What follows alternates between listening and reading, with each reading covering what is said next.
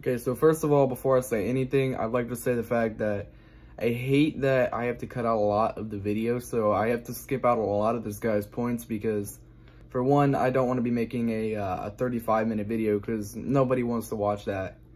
But uh, obviously, no one please take offense to uh, anything that I say because about 90% of it is a joke, but sometimes people say something so incredibly stupid that I just have to absolutely mock them. But regardless, if you're new here, you know there's a, uh, a little red button.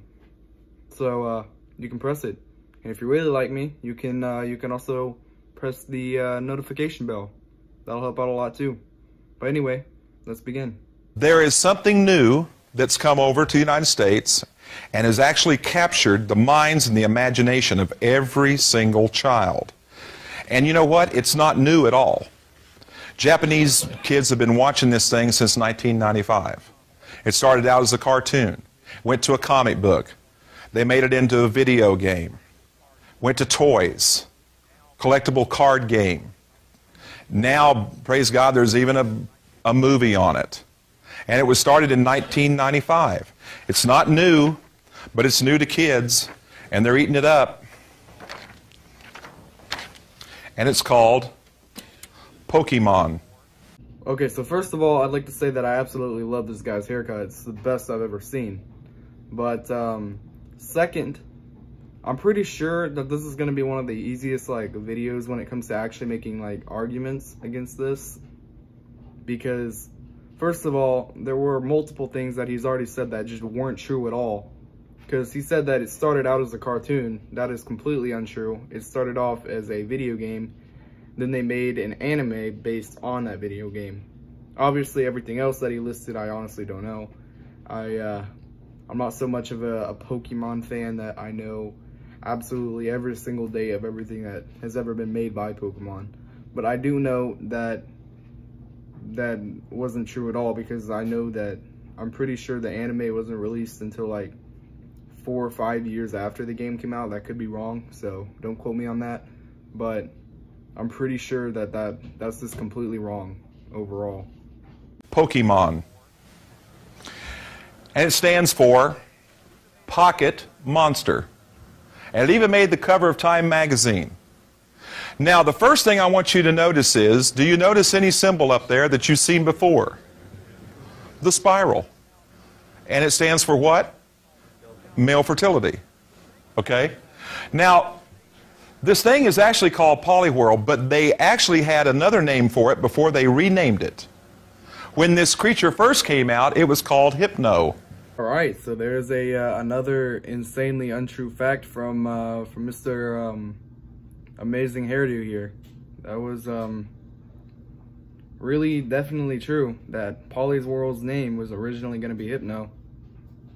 Mm-hmm. You know, a simple uh, a Google search would disproved that. And it was originally going to be named Aquanaut.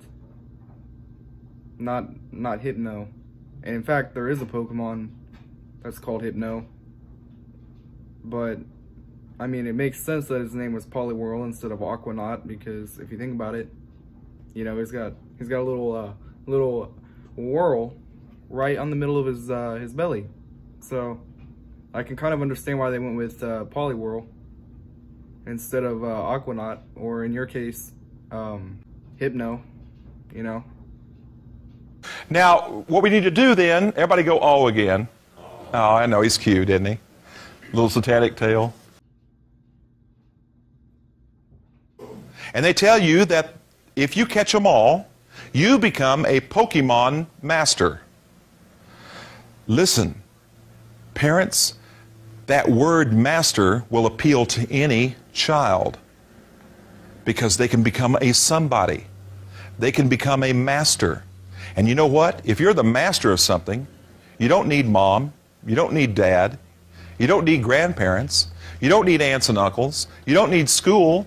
Okay, here's a uh, another completely uh, irrational statement from this man.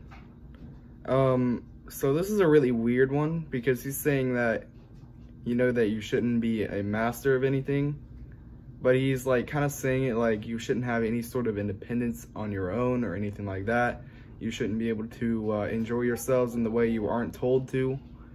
He's basically saying that you're supposed to be exactly the exact puppet that the world wants you to be. And that we're, if, if that's the way everyone's thinking, then the world's never going to advance itself because everyone's just doing what they're told. Then what's the world just going to become? It's going to become an exact replica of what it was the day before. Every single day, it's just going to repeat itself. If what he's saying is correct, and if that was enforced into the point where no one could have any sort of like independence, then the world is just going to be the same forever. And that's incredibly stupid. I mean, I guess I get where he's coming from, but at the same time, that's still the dumbest thing I think I've heard all day. I don't, I don't see how he's saying that's a good thing. It just, it just mind boggles me how he thinks that being a master of just a literal video game. That's like, that's like if I was to say that I was good at a video game, like I'm the master of uh, a Fortnite, bro. Like, we all love Fortnite, of course. So if I'm the master of Fortnite, I'm better than everyone that's just a flex. That shows that I put work into something and I'm proud of it. You know what I'm saying? So if he's saying that you can't be the master of Pokemon because you're all of a sudden a, a Satan worshiper if you are, that just makes no sense, man. Like, you're confusing me. It's, it's like if you accomplish something, you have the right to call yourself good at that or the master of it. He goes on to say that that you're considering yourself your own god of your own world. And that's another untrue statement. You're not taking a place of, of God. You're just you're just being good at something that you you find interesting. I Look at the yellow. What do you see? Lightning bolt. Lightning bolt. Look here. All seeing eye. Everybody see that? Up here is the clenched fist symbol for rebellion, anarchy. Right down here is a powerful witchcraft symbol where my finger is. Powerful witchcraft symbol, and it's a symbol for fire. Down here is another powerful witchcraft symbol, actually a New Age symbol. They call a New Age symbol for earth. Okay, which is a green leaf. And down at the bottom here, this blue ball down in here is the symbol for energy of water. And water transforms into wind. Earth, wind, and fire, the three basic elements of all witchcraft. Just when I thought it wouldn't get any dumber, it did. So first of all, he's calling uh, a clenched fist a uh, a sign of rebellion when uh, I think it would be more accurate to assume that it could be a sign of, you know, maybe fighting type, which is what it represents, is maybe fighters, people who, you know, a boxer. This guy looks like he loves boxing, you know? That, that would be a good example of a, of a, bo a boxer, is a fighting type, right? So, this uh, rebellion, I don't get where he's getting that from, but remember, it's not the fighting type anymore. It's the rebellion type. Keep that in mind. Second of all, apparently fire is demonic now. I didn't know that. One of the world's best sources of energy is apparently demonic. That's some uh, some new information I'm taking in. You know, you learn something new every day. Also, somehow water just magically transforms into wind. So he could manage to uh, connect that to grass, fire, and wind. I don't, I don't get where he got that from. It just transforms. You, really, man? I, I don't get that. How how does the the the water just turn into wind? And unless it's some sort of like stupid like chemistry thing, unless he's talking about like maybe water vapor. And that still wouldn't really be related to wind. That's stupid. And then he's also calling that earth. That's grass, not earth. It literally represents a grass type. And the eye does not represent an all-seeing eye, it represents the psychic type which I guess he could use as an argument towards Satanism or whatever. But at the same time, that's still really stupid because I don't think, I think he's taking it the wrong way. I don't think the psychic type was made intentionally to seem demonic in any way. It was just made to sort of be a new another type, you know, that represents Pokemon like Alakazam or Mewtwo.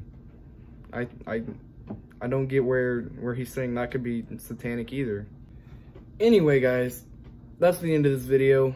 Um, I it's really longer than I wanted it to be. I wanted it to uh, to aim around maybe seven minutes, but we went to ten. So, you know, that's cool. Anyway, like I said at the beginning, if you're new, you know, there's a little red button. Hit it for me. And if you really like me, you can hit the like button and maybe hit the uh, the notification button as well. That'll help out a lot because, you know, you'll be the first to uh, see when I upload a new video. Anyway, see you in the next one. Bye.